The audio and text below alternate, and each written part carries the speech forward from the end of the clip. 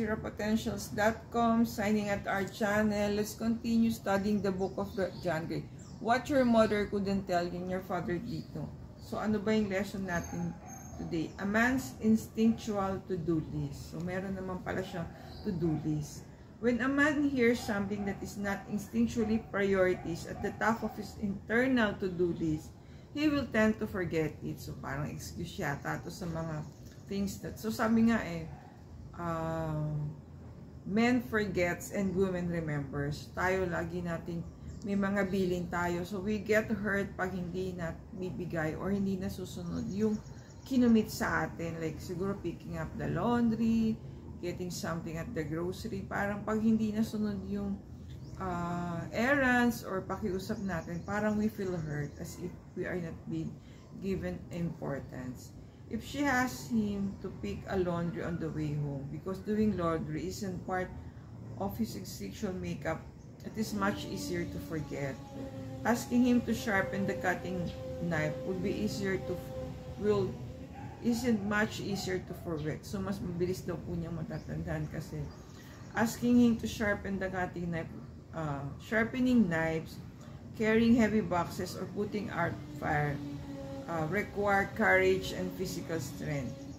Things that he more deeply identifies with. So, pagka daw connected sa kanyang mga daily tasks, mas natatandaan niya. Kasi ang argument natin dito, di ba? Let us not get angry when uh, the man forgets. Kasi, hindi naman niya sinasadya. Sabi nga dito, maybe it's not in his instinctual to-do list. Kaya niya lang nakalimutan. It's not to offend us, to make us feel na he did not listen. Most of this happens automatically. He doesn't say to himself, I'm really busy today, so I'm going to forget to bring home the milk. So, yan, yung excuse. It's simply that he focuses on one thing. Later, he forgets the other things before. So, sabi nga, baka daw may deadline or worrying about his next paycheck. So, things like emptying the trash, trash picking up milk from the grocery, returning calls, buying concert or theater tickets, making re reservation, picking things up. So, yung mga errands nga po, no, um,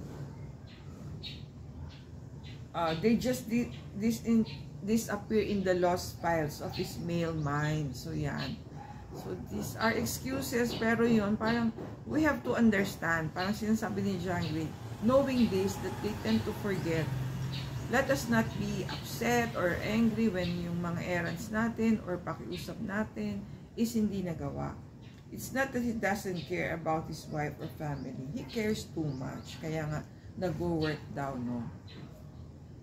It's just that, um, yun nga, hindi siya kasama sa instinctual to-do list niya. Kaya nakag... While women, tayo, we don't relate to this because we tend to remember things at home and then we are focused on the project at work. So, kaya daw nating mag-multitask. So, mukhang obvious, mas uh, functioning ang brain natin kahit mag-multitask tayo. Inisip natin yung house, inisip natin yung assignment ng children natin. But still, we can uh, deliver. Anyway, parang John Gray saying that let us understand our men that they just forget things at times kasi it's not their in their instinctual to-do list. The more stress a man is, the more focus is He is on a single goal. Yan. So, yung mas, ano tayo, eh, multi-track mind over the man. A man's tunnel vision causes him to forget certain details as his wife doesn't easily forget. In essence, women think of many things at once while men concentrate on one thing at a time. Stay safe everyone. God bless you all. Thank you for watching. See you on our next video.